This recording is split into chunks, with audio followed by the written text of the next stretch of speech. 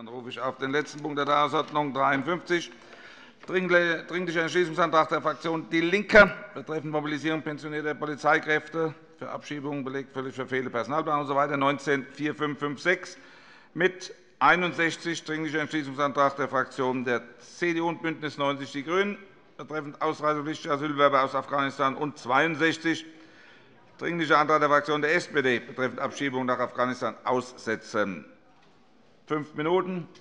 Das Wort hat der Kollege Schaus, Fraktion DIE LINKE.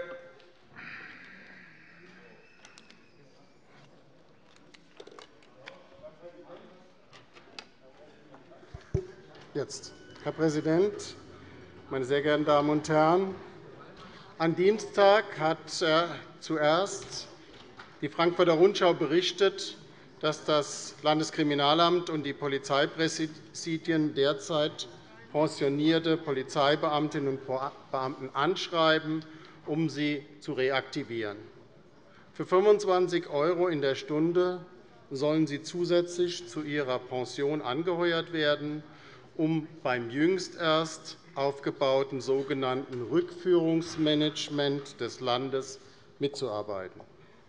Wer sich zu einer Vollzeittätigkeit bereit erklärt, könnte also zusätzlich bis bei 173 Stunden a 25 € bis zu 4.325 € pro Monat frei von Abgaben zusätzlich einstreichen.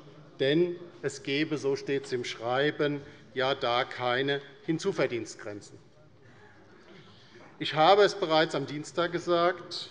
Weil Personalmangel bei der Polizei herrscht, werden nun Pensionierte mit Zusatzgeld gelockt, um offenbar in großem Maße Abschiebungen zu organisieren. Denn das ist die zentrale Aufgabe eines Rückführungsmanagements angesiedelt beim Landeskriminalamt. Die Gewerkschaft der Polizei kritisiert zu Recht, dass die Polizei hier Tätigkeiten übernehmen soll, die Aufgaben der Ausländerbehörden und des Bundesamtes für Migration und Flüchtlinge sind. Es gibt aber nicht nur Beratung und Unterstützung von freiwillig Ausreisenden, wie uns der Innenminister am Dienstag weismachen wollte. Denn dafür braucht man ja eben kein Rückführungsmanagement innerhalb der Polizei. Es geht um die Druckausübung auf Ausreisepflichtige und die koordinierte, massenhafte und zentrale Organisierung von Abschiebungen. Am Dienstag haben Sie, Herr Minister, auf meine Fragen nicht geantwortet. Also versuche ich es heute noch einmal. Was ist da an Abschiebungen in großem Stil geplant? Wie soll das organisatorisch durchgeführt werden? Sollen jetzt auch jahrelang geduldete und bereits gut integrierte Menschen wieder in Kriegsgebiete zurückgeführt werden? Meine Damen und Herren, die hessischen GRÜNEN verstecken sich derzeit gerne hinter dem Bundesinnenminister und dem Auswärtigen Amt, wenn es um die angeblich sicheren Gebiete in Afghanistan geht. Jüngst konnten wir erleben, wie Herr de Maizière die sicheren Gebiete zu rechtfertigen versuchte.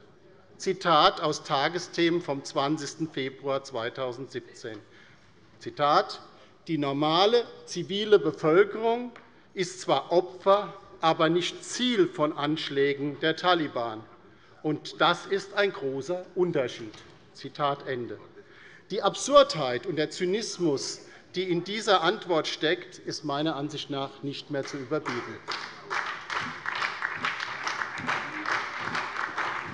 Herr Klose, Sie haben als Landesvorsitzender der GRÜNEN am 11. Februar 2017 in der Hessenschau behauptet, Zitat, es ist in Hessen auch so wie in anderen Bundesländern, dass vorrangig, das heißt, dass vorerst nur Straftäter abgeschoben werden.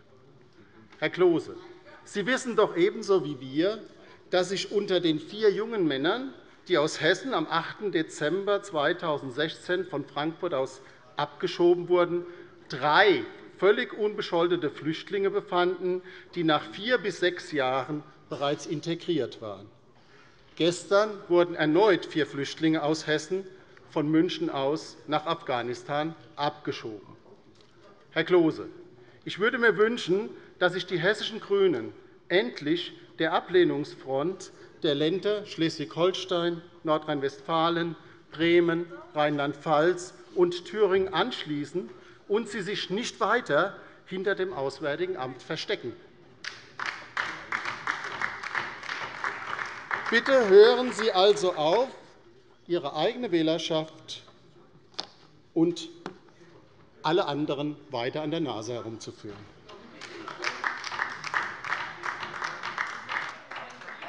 Vielen Dank, Kollege Schaus. Das Wort hat Frau Abg. Wallmann, Astrid Wallmann, CDU-Fraktion.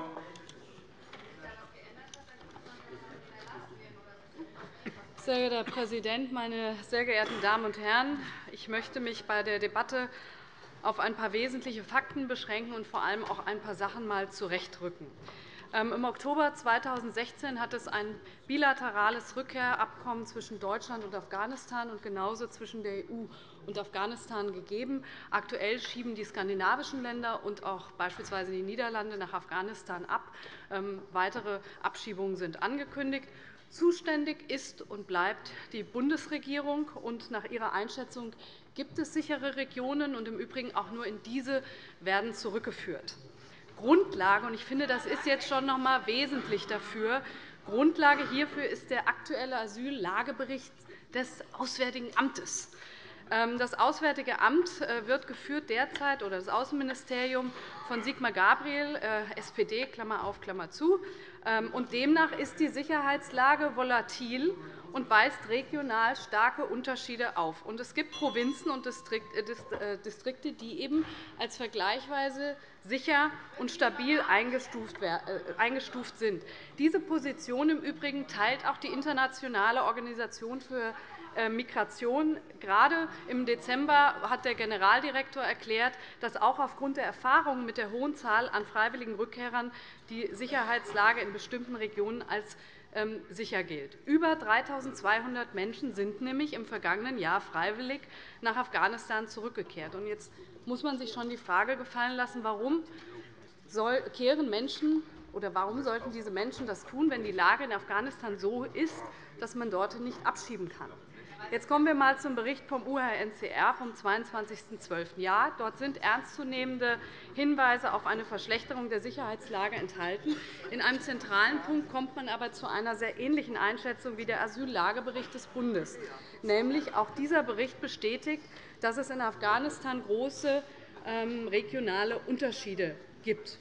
Jetzt möchte ich ganz kurz auf eine Pressemitteilung der Linksfraktion eingehen, ähm, die heute herausgegeben worden ist. Da wird der UNHCR ähm, sozusagen zitiert, äh, die Sicherheitslage sei so, es gäbe keine sicheren Regionen in Afghanistan. Ich darf das hier kurz einmal zeigen.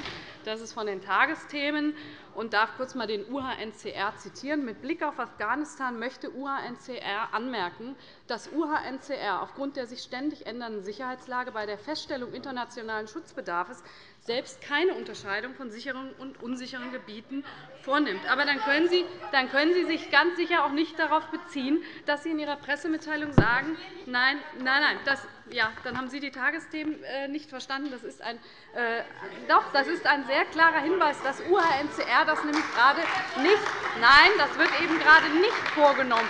UNHCR nimmt das ausdrücklich äh, nicht hin. Das hat die Bundesregierung übrigens auch geteilt. Außerdem, das ist vielleicht auch noch einmal wichtig zur Kenntnis zu nehmen, hat der Sprecher von Sigmar Gabriel, dem neuen Bundesaußenminister, gerade erst und zwar im Nachgang des UNHCR-Berichts mitgeteilt, dass es keine generelle Neubewertung geben wird. Und dann kommen wir jetzt einmal zum SPD-Antrag. Da fordern Sie in Punkt 2 darauf hinzuwirken, mit dem Bundesinnenminister darauf hinzuwirken, und so weiter, dass es längerfristig keine Abschiebung gibt. Grundlage, das habe ich eben gesagt, ist der Asyllagebericht des Auswärtigen Amtes. Dann finde ich, sollte hier auch der Bundesaußenminister genannt werden. Weil, ehrlich gesagt, finde ich, da machen Sie es sich ein bisschen einfach, und das sollten Sie vielleicht dann mit ihm erklären. Und dann finde ich auch, wenn Sie sozusagen sich nur auf, Ihren, auf den CDU-Minister äh, äh, beziehen, dann merkt man halt auch, dass Sie da irgendwie Parteipolitik machen. Der Bundesaußenminister ist da genauso in der Verantwortung. Ich kann hier noch andere SPD-Politiker äh, nennen. Auch Hamburg führt weiterhin ab. Der Innensenator hat das ähm, äh, gestern auch noch einmal formuliert. Wir haben geringe Ermessensspielräume, das haben wir hier auch schon diskutiert. Wir haben außerdem gesagt, wir machen, das ist klar, eine intensive Einzelfallprüfung und äh, wollen uns vorrangig auf Straftäter konzentrieren. Jetzt wird es interessant, wenn wir einmal zum Abschiebestopp es wird hier auch zitiert, äh, Beispiel Schleswig-Holstein kommen. Das ist nämlich eine verkehrte Welt. Wir haben, gestern gab es ja auch eine Debatte dazu im Schleswig-Holsteiner Landtag. Und die Wahrheit ist, Schleswig-Holstein sowie alle anderen Länder haben ja Straftäter von diesem Abschiebestopp ausgenommen.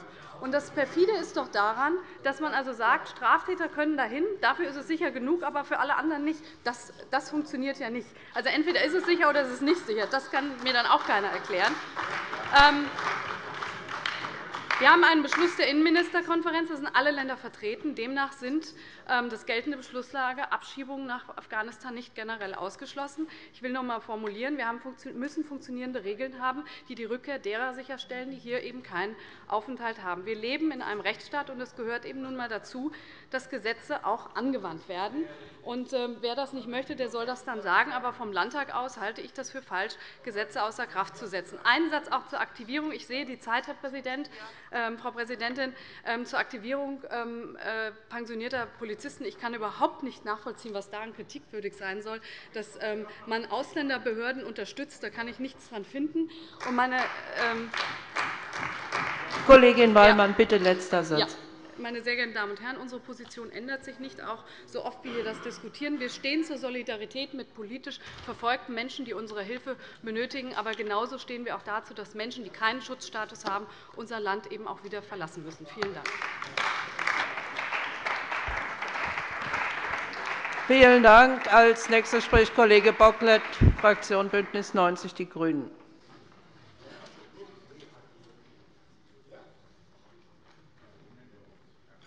Frau Präsidentin, meine sehr verehrten Damen und Herren! Wir stehen vor einer schwierigen Situation.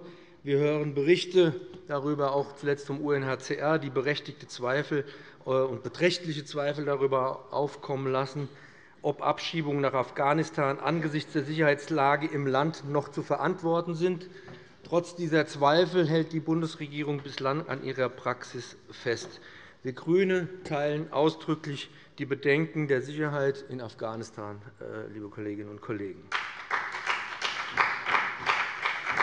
Wir haben deshalb auf Bundes- wie auf Landesebene einmütig die Bundesregierung aufgefordert, unter der Berücksichtigung der Erkenntnisse von UNHCR, der NGOs und in Afghanistan tätigen Hilfsorganisationen die Situation nochmalig zu überprüfen und so die Voraussetzung für ein Ende der derzeitigen Abschiebepraxis zu schaffen. Ja, natürlich dauerhaft, richtig, genau. Das kann man auch dazu sagen, selbstverständlich. Eine die Frage von Herrn äh, vom Kollegen Schäfer-Gümbel ist richtig. Eine dauerhafte Lösung bei der Frage Abschiebung nach Afghanistan kann es nur geben, wenn die Sicherheitseinschätzung des Bundesaußenministers eine andere ist, woraufhin der Bundesinnenminister einen anderen Bericht zu Herkunftsländern an das BAMF gibt, woraus folgt, dass das BAMF keine Spielräume hat, um überhaupt noch ablehnende Bescheide zu erstellen, sodass Afghanen erst gar nicht mehr ausreisepflichtig sind. Das ist die Grundvoraussetzung, meine sehr verehrten Damen und Herren. Ich will da ich will da keine Schärfe hineinbringen, äh, zumindest nicht aufgrund der Kürze der Redezeit, und will Ihnen sagen, was die Schwierigkeit für die Konsequenzen daraus, dass das nicht so ist, dass es auf Bundesebene eine solche Regelung gibt, bedeutet, dass jedes Bundesland eine, also ihre Ermessungsspielräume nutzen müssen.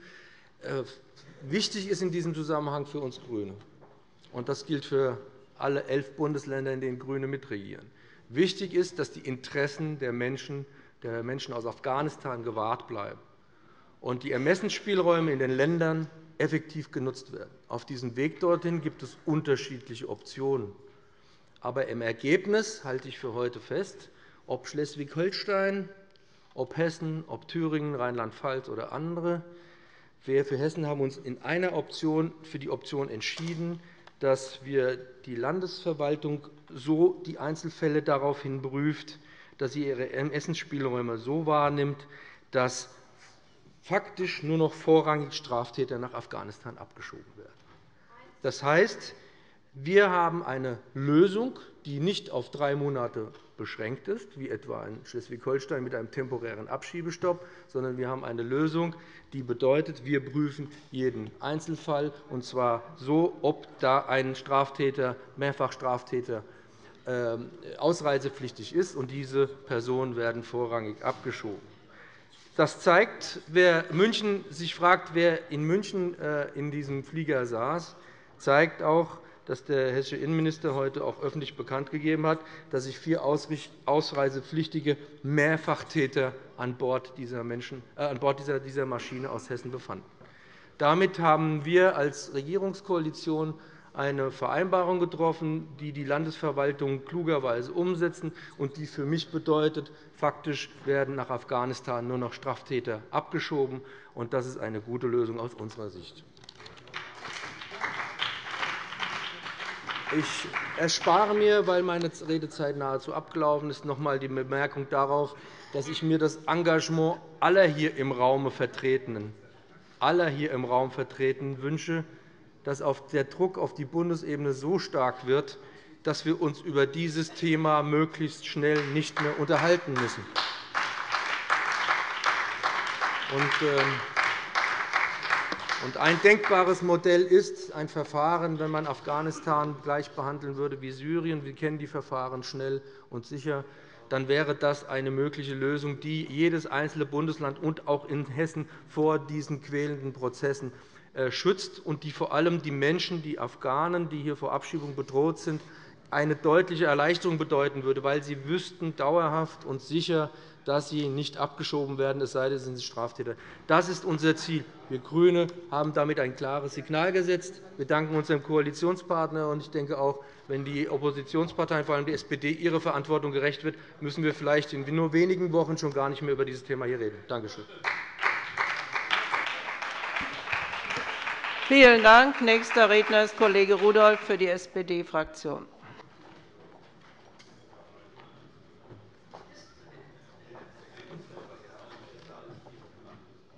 Frau Präsidentin, meine sehr verehrten Damen und Herren! Ich fand die Debatte bisher durchaus sachlich. Herr Kollege Bellino bei einem Thema, das wir, glaube ich, gemeinsam Sie haben ja recht, warum gehe ich auf Sie ein? Meine Damen und Herren,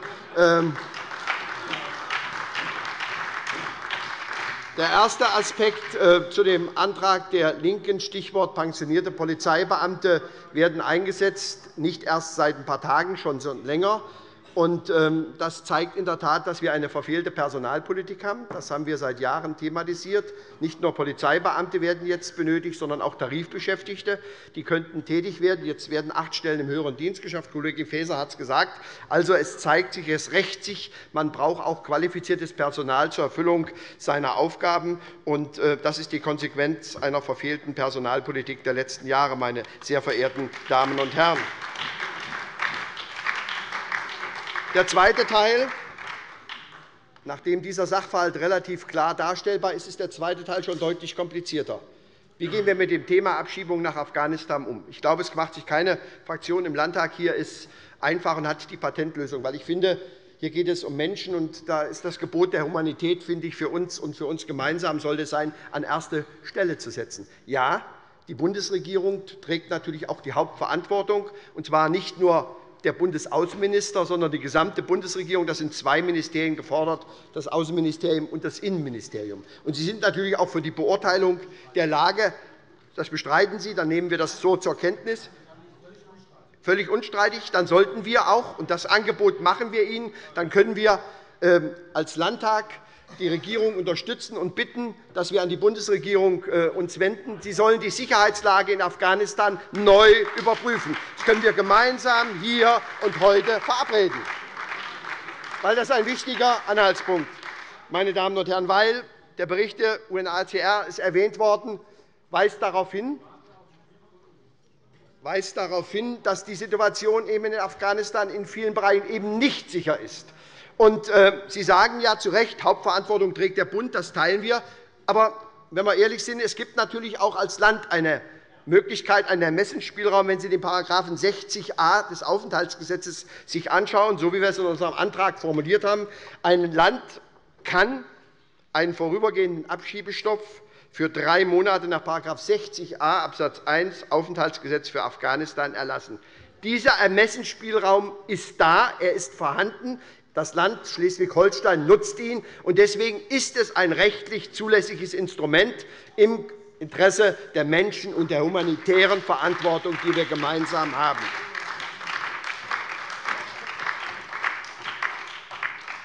In Thüringen, in Nordrhein-Westfalen wird es nicht formal juristisch, aber faktisch ähnlich gehandhabt. Ja, Herr Al-Wazir, ich weiß nicht, was Ihre permanenten Zwischenrufe dann immer an der Stelle sollen. Na ja, dass Sie allwissend sind, das weiß ich. Aber dieser Zwischenruf oder dieser Zwischenton ist bei der Debatte völlig unangemessen, weil ich habe den Eindruck, wir wollen gemeinsam an einer Lösung eines schwierigen Sachverhalts arbeiten. Noch einmal, das Gebot der Humanität muss erste Priorität bei dieser Frage hier im Hessischen Landtag haben, meine sehr verehrten Damen und Herren. Deswegen Herr Kollege Bocklet, will ich Ihre Anregung, Ihren Hinweis auch durchaus aufgreifen. Sie haben gesagt, es müssen Kriterien entwickelt werden oder sie würden vorliegen. Wie gehen wir mit dem Thema Abschiebung nach Afghanistan um?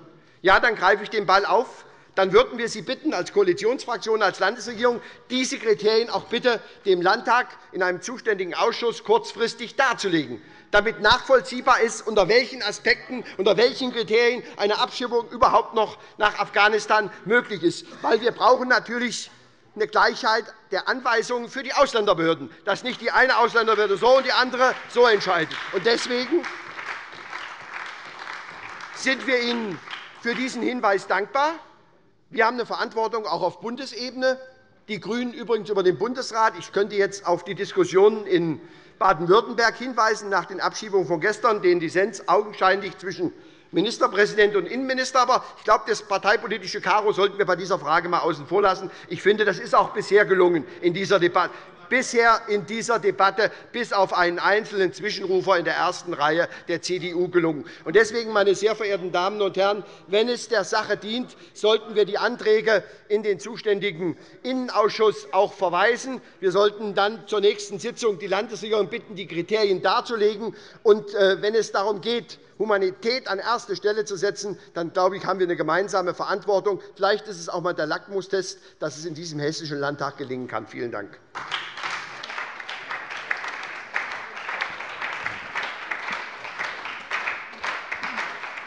Vielen Dank. Als Nächster spricht Kollege Greilich, FDP-Fraktion.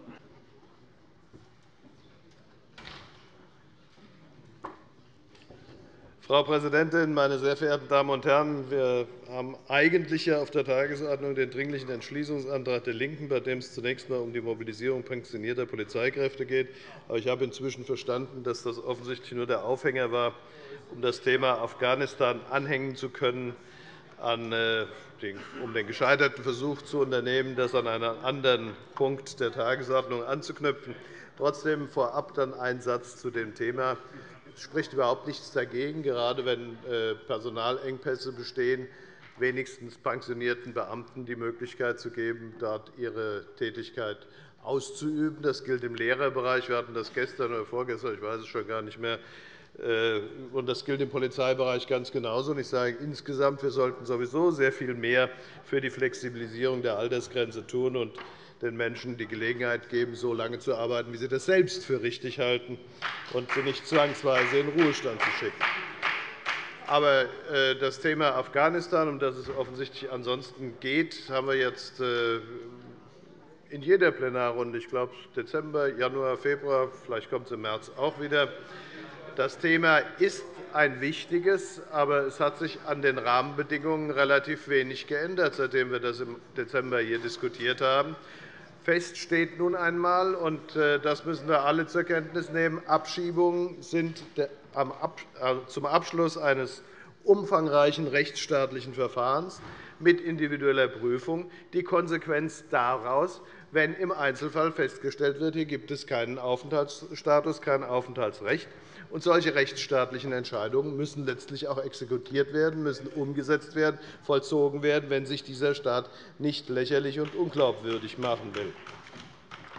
Ein spezielles Thema ist in der Tat die Situation in Afghanistan. Deswegen haben wir uns hiermit auch mehrfach schon sehr intensiv befasst. Wir schauen alle, ich glaube, das kann man für alle Fraktionen sagen, seit Jahren mit großer Sorge auf die innenpolitische Situation in Afghanistan. Nicht umsonst hat sich die Bundesrepublik dort massiv engagiert. Äh, es ist höchst bedauerlich, dass es nicht gelungen ist, dort eine dauerhafte flächendeckende Befriedung zu schaffen. Es gibt keine flächendeckende Sicherheit in Afghanistan. Das ist ein Tatbestand, an dem keiner vorbeikommt. Äh, aber es gibt auf der anderen Seite nach der Einschätzung der Bundesrepublik Deutschland, der zuständigen Minister der Bundesrepublik Deutschland, des früheren zuständigen Bundesaußenministers Steinmeier, des jetzigen zuständigen Außenministers äh, Sigmar Gabriel, so heißt er, äh, offensichtlich Bereiche in Afghanistan, in die man abschieben kann, weil es dort sicher ist. Ich wiederhole das, was ich hier auch schon mehrfach gesagt habe. Das entzieht sich meiner Beurteilung. Das entzieht sich meiner Beurteilung. Es ist Sache der zuständigen Instanzen in der Bundesrepublik Deutschland, nämlich insbesondere des Außenministeriums, diese Entscheidung zu treffen. Äh, die Diskussion, wie sie teilweise geführt wird, ist in der Tat eine, die einen äh, häufiger zum Ärger bringen kann. Ich habe es jetzt in der Frankfurter Rundschau der Frankfurter Rundschau gelesen, der geschätzte Herr von Bebenburg, der in der Tat sehr sorgfältig arbeitet, ist da aber immer dann mal ein wenig von der Emotion geleitet, ein bisschen unsorgfältig, wenn er von der Abschiebung von Flüchtlingen nach Afghanistan spricht. Meine Damen und Herren, es geht nicht um die Abschiebung von Flüchtlingen. Diese Begriffs Verwirrung dieser Legende muss man einmal ein wenig aufräumen. Es geht, Flüchtlinge dürfen nicht abgeschoben werden nach geltendem deutschen Recht.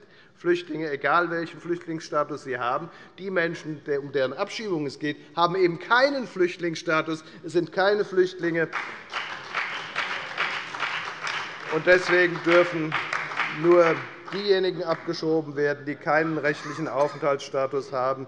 Sie, meine Damen und Herren, erwecken mit Ihrem Verhalten den Eindruck, Deutschland sei ein Willkürstaat. Das ist nicht nur falsch, sondern es untergräbt das Vertrauen in die Bundesrepublik Deutschland. Meine Damen und Herren, Deutschland und im Besonderen Hessen gewähren großzügig Zuflucht und Aufenthalt für Menschen, die vor Verfolgung und Krieg fliehen müssen. Wer aber am Ende eines rechtsstaatlichen Verfahrens, und das wiederhole ich, nachweislich keinen Anspruch auf Aufenthalt hat, der muss wissen, dass unser Rechtsstaat sich dann auch durchsetzt, um die Interessen unseres Landes zu wahren. Und, meine Damen und Herren, das erwarten wir als Freie Demokraten von unserem Staat. Und, und das habe ich schon einmal hier gesagt, das erwarten die Menschen in unserem Land von der Politik. Vielen Dank. Das Wort hat Staatsminister Beuth. Frau Präsidentin, meine sehr geehrten Damen und Herren! Das Thema Abschiebung nach Afghanistan haben wir in äh, mehreren Debatten miteinander hier schon geklärt und auch diskutiert. Die aktuelle Bewertung des Bundes, der Bundesrepublik Deutschland, die in der Tat zuständig ist, ist, dass die Sicherheitslage in Afghanistan Rückführungen nach Afghanistan zulässt. Das ist bisher gerichtlich bestätigt worden, soweit ich das weiß. Und äh, Im Übrigen gilt es auch für unsere europäischen Nachbarn, die ebenfalls Rückführungen nach Afghanistan durchführen. Ich sage, ich habe auch keine Zweifel an der Korrektheit der Einschätzung der Bundesrepublik Deutschland und der Bundesregierung hierzu. Wir haben Recht und Gesetz umzusetzen dann am Ende. Meine Damen und Herren, wir haben die Akzeptanz in der Bevölkerung für die Aufnahme von Flüchtlingen. Wir haben in den vergangenen, zwei Jahren viele Menschen in unser Land äh, aufgenommen. Ich finde, dass wir diesem humanitären Auftrag folgend auch die Akzeptanz weiterhin hochhalten müssen, dass wir auch in Zukunft Flüchtlinge in unserem Land aufnehmen. Dafür ist es aber unabdingbar, dass wir diejenigen, die kein Bleiberecht in unserem Land haben, auch wieder in ihre Heimatländer zurückführen. Meine Damen und Herren. Und da gibt es ähm, keine Unterschiede, sondern da geht es nach Recht und Gesetz und nach vollziehbarer Ausreisepflicht. Meine Damen und Herren, wie wir die Rückführung nach Afghanistan ähm, durchführen, haben wir in ähm, den Debatten hier im Hessischen Landtag bereits miteinander erörtert. Es ist niedergelegt, auch die Kriterien oder die Maßstäbe sind dargelegt in äh, den Anträgen, die wir hierzu beschlossen haben im Hessischen Landtag. Ich weise einmal darauf hin, Herr Kollege Schaus und Herr Kollege Rudolph, Sie waren beide dabei. Sie waren beide dabei. Ich habe in der letzten Innenausschusssitzung zu diesen Fragen sowohl was die Frage der Maßstäbe angeht, wie auch was die Frage des Rückführungsmanagements und äh, des entsprechenden Referates im Hessischen Innenministerium ausführlich Stellung genommen. Meine Damen und Herren, wir mobilisieren im Moment Polizeivollzugsbeamte und nicht reaktivieren, sondern wir mobilisieren Pensionäre zur Unterstützung der Ausländerbehörden, um sie dabei zu unterstützen, dass sie den äh, anfallenden Aufwand der durch die vielen Entscheidungen, die jetzt durch das Bundesamt äh, für Migration und Flüchtlinge bei den Ausländerbehörden auch entsprechend ankommen, dass wir diesen anfallenden Aufwand auch bewältigen können. Deswegen ist die Folgerung zweifach falsch, die Herr Kollege Rudolph hier getroffen hat. Erstens. Die Situation, die wir jetzt haben mit den Flüchtlingszugängen, war nicht erkennbar. Das ist keine Frage von jahrzehntelanger Personalpolitik. Das ist schlicht und ergreifend falsch. Ja, Sie haben aber die Frage der Personalpolitik hier in den Raum gestellt. Und ich sage Ihnen, es war nicht erkennbar, dass eine Million Flüchtlinge nach Deutschland kommen. Und mit den Auswirkungen haben wir jetzt uns zu beschäftigen und das in einer anständigen und ordentlichen Form nach Recht und Gesetz zu machen. Und wenn wir da temporäre Spitzen haben, temporäre Belastungsspitzen in bestimmten Behörden, dann müssen wir darauf jetzt reagieren. Und das tun wir in einer angemessenen Form, meine Damen und Herren. Das ist das Erste, was Sie übersehen haben, Herr Kollege Rudolph. Das Zweite, was Sie übersehen haben, wenn wir die Ausländerbehörden unterstützen, dann sind es 31 Mal kommunale Behörden und dreimal Landesbehörden. Wir unterstützen mit diesem zusätzlichen Personal, was wir zur Verfügung stellen, kommunale Behörden. Ich finde, das sollten Sie einmal zur Kenntnis nehmen, dass wir seitens des Landes genau das machen.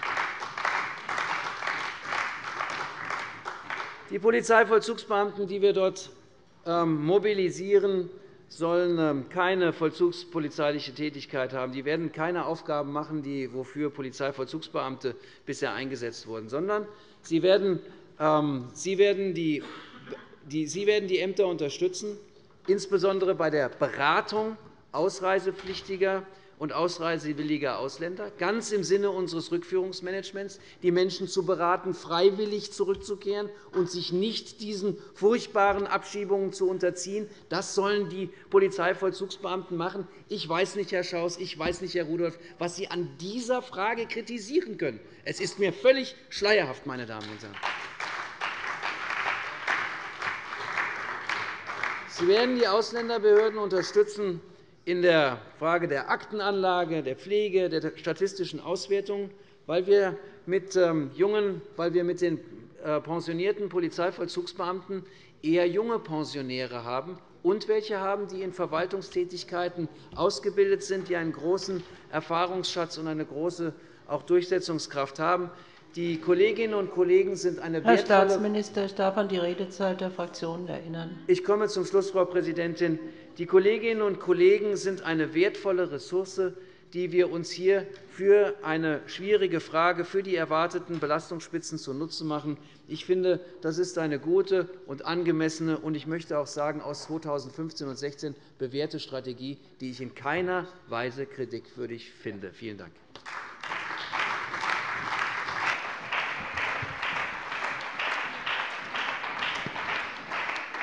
Vielen Dank. Das Wort hat Kollegin Wissler, Fraktion DIE LINKE.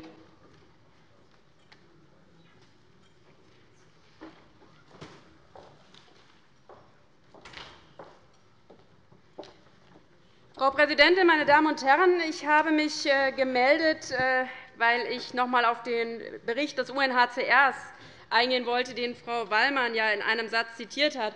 Frau Wallmann, ich würde Ihnen empfehlen, erstens den UNHCR-Bericht komplett zu lesen und nicht nur einen Satz, den Sie dann auch noch falsch verstanden haben, diesen Satz. Der Bericht des UNHCR, ich habe Ihnen das zitieren, ich habe ihn hier vollständig hier, beginnt nämlich mit dem Satz, dass sich die Sicherheitslage im letzten Jahr insgesamt nochmals deutlich verschlechtert hat. Vor diesem Hintergrund ist die statistische Entwicklung der Entscheidungspraxis des Bundesamtes eher überraschend, wurde nämlich im Jahr 2015 noch 78% aller Entscheidungen in der Sache Schutz gewährt, ist die Gesamtschutzquote 2016 nur noch gut 60% also rückläufig, kann der UNHCR nicht nachvollziehen. Man spricht von einer ständig, sich ständig veränderten Sicherheitslage und, Frau Weimann, ein pauschalierender Ansatz, der bestimmte Regionen als sichere und zumutbare interne Schutzalternative ansieht, ist nach Auffassung von UNHCR vor dem Hintergrund der aktuellen Situation in Afghanistan nicht möglich. Ich empfehle, den Bericht einmal komplett zu lesen und zu verstehen, weil der macht ganz deutlich, Afghanistan ist nicht sicher, und deswegen darf nach Afghanistan nicht abgeschoben werden, meine Damen und Herren.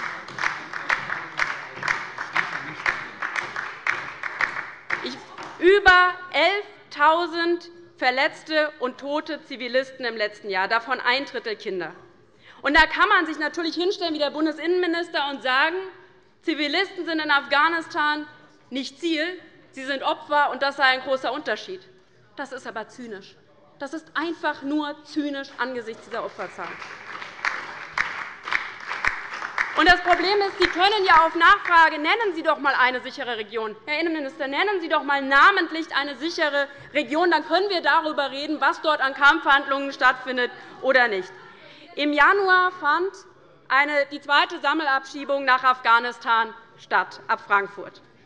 Bei den Abgeschobenen war auch ein junger Mann namens Akbari. Er war Altenpfleger und lebte in einer Gastfamilie in Bayern. Kurz nach der Abschiebung wurde er, meine Damen und Herren, durch ein Selbstmordattentat in Kabul, bei dem 20 Menschen gestorben sind, wurde er schwer verletzt. Ich finde, angesichts der Gefahr, die wir jedem einzelnen Menschen aussetzen, der dahin abgeschoben wird, ist es doch zynisch zu sagen, wir halten uns hier an Recht und Gesetz. Was hat das mit Recht und Gesetz zu tun, wenn wir zulassen, dass Menschen in Lebensgefahr geraten? Er wurde im Januar abgeschoben. Nur wenige Tage später ist er bei einem Selbstmordattentat zu Schaden gekommen. Das kann doch nicht sein, dass man Menschen in ein Kriegsgebiet abschiebt, meine Damen und Herren. Und ich kann es auch einfach nicht nachvollziehen. Der UNHCR sagt, Afghanistan ist nicht sicher. Der Global Peace Index sagt das, Amnesty International sagt das. Ich verstehe einfach nicht, warum das Auswärtige Amt sich dieser Auffassung nicht anschließt. Deswegen natürlich brauchen wir dringend eine Neubewertung, was die Sicherheitslage in Afghanistan angeht. Meine Damen und Herren. Ja, der Bund ist in der Pflicht. Ja, der Bund ist in der Pflicht. Das heißt aber nicht, dass das Land und dass die Landesregierung nichts machen kann. Wer könnte einen dreimonatigen Abschiebestopp beschließen? Das würde Sicherheit geben, all den Menschen, die in diesem Bundesland leben und die Angst haben, die tagtäglich Angst haben, dass sie abgeschoben werden. Wenn Herr Bocklet jetzt sich hier hinstellt und erklärt, es wird keiner mehr abgeschoben vorläufig bis auf Straftäter, wobei ich das auch für falsch halte, wenn Afghanistan nicht sicher ist, darf man niemanden dahin abschieben, weil davon abgesehen, dass das Land auch nicht sicherer wird, wenn man die ganzen Straftäter hin abschiebt. Das halte ich für falsch. Aber ich habe diese Aussage von Herrn Bocklet bei Frau Wallmann und bei Herrn Beuth so nicht gehört. Deswegen meine Frage. Gibt es einen Erlass? Gibt es eine Anweisung? Gibt es irgendetwas, was diese Landesregierung veranlasst hat, damit nicht weiter abgeschoben wird nach Afghanistan? Ich habe gerade haben wir gehört, dass es alleine 140 ausreisepflichtige afghanische Hindus und Sikhs in Hessen gibt. In Afghanistan ist niemand sicher, aber religiöse Minderheiten sind besonders gefährdet. Die Menschen, die jetzt einen Abschiebebescheid bekommen, die in Angst leben, tagtäglich Angst haben, dass sie abgeschoben werden, die Angst haben, ihre Kinder in die Schule zu schicken, weil sie Angst haben, dass sie abgeschoben werden, denen hilft doch nicht die Aussage, Herr Bocklet hat im Landtag gesagt, ihr, müsst euch, äh, ihr werdet nicht abgeschoben, sondern die brauchen doch etwas Schriftliches. Die brauchen entweder einen Beschluss des Landtages, dass es einen Abschiebestopp gibt, oder einen klaren Erlass dieser Landesregierung. Und deshalb ist meine Frage, ist diese Landesregierung bereit, diese Abschiebungen sofort auszusetzen, zumindest auszusetzen, um den Menschen auch ein Gefühl der Sicherheit hier in Hessen zu geben? Vielen Dank.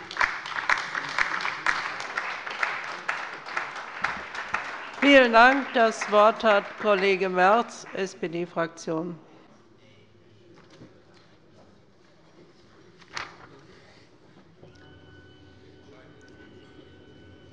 Frau Präsidentin, meine Damen und Herren! Ich will genau an der Stelle ansetzen, an der die Kollegin Wissler aufgehört hat.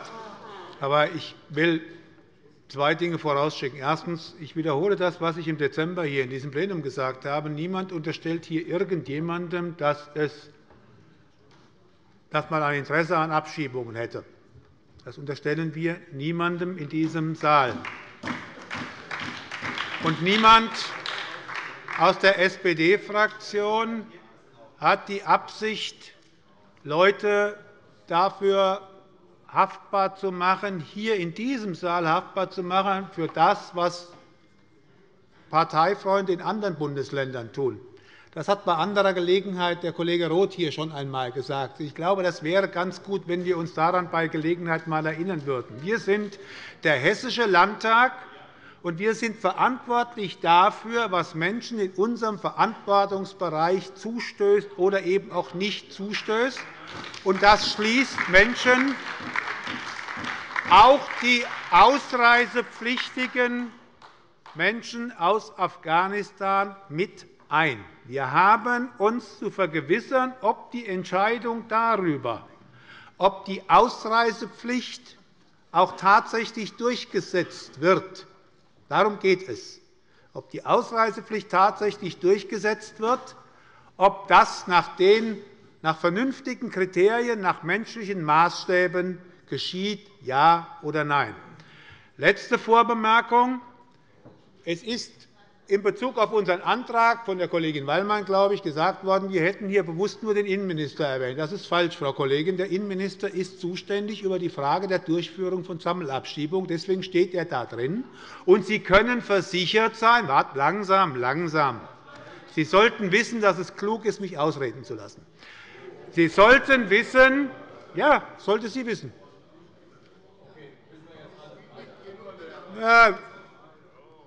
Er weiß es nicht? Gut.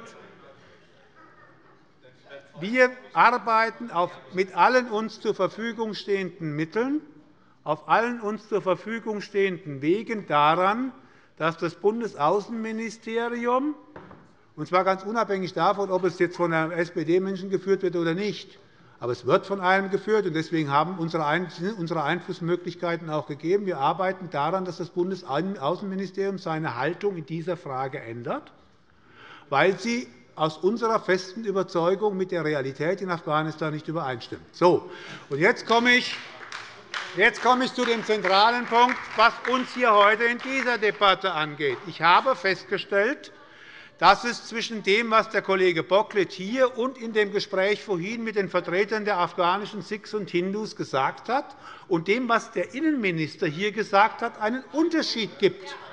Und zwar einen klaren Unterschied. Kollege Bocklet hat hier dargelegt, hier an diesem Pult, so habe ich es verstanden, und so haben es noch mehr Leute verstanden, dass bis auf Weiteres, das heißt bis auf Widerruf, Menschen nach Afghanistan nicht mehr abgeschoben werden, es sei denn, es seien Mehrfachstraftäter. So habe ich es verstanden. Und wäre der Begriff des Mehrfachstraftäters auslegungsbedürftig. Aber was, ich verstanden habe, ist, dass das, was der Innenminister gesagt hat, etwas ganz anderes war.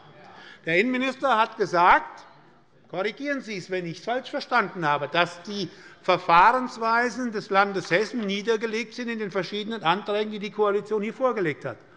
Nun lese ich den, Absatz 3 und den Absatz 4 dieses Antrags, und ich lese daraus Entschuldigung, etwas anderes als das, was Kollege Bocklet gesagt hat. Deswegen wüssten wir jetzt gerne, was wir den Menschen sagen sollen, die uns fragen, z. B. den Erwähnten, die da oben sitzen, den erwähnten Vertretern der Hindu- und Sikh-Minderheit, die Angehörige in der Größenordnung von 140 haben, die eigentlich ausreisepflichtig wären. Was gilt, Herr Kollege Bocklet? Was gilt, Herr Innenminister Beuth? Das wüssten wir gerne.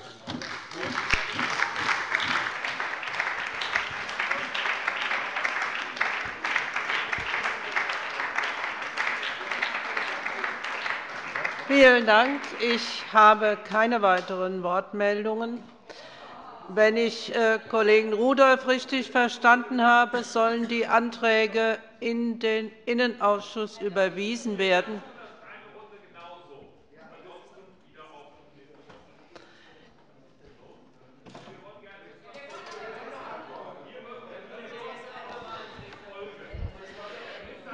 Kollege Schäfer-Gümbel, ich kann nur Wortmeldungen entgegennehmen, die bei mir eingehen. Ansonsten muss ich die Debatte schließen. Dann, ja, aber also die, ich stelle fest, es meldet sich niemand. Die Debatte ist geschlossen, und ich gehe davon aus, dass die Anträge in den Innenausschuss gehen, alle drei, und zwar die 55, 61 und 62. Dann ist das der Fall.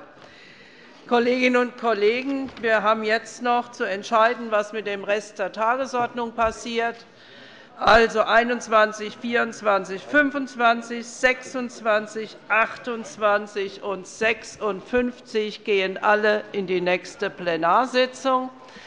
Dann bedanke ich mich und wünsche Ihnen einen guten Heimweg. Die Sitzung ist geschlossen. Das war 53.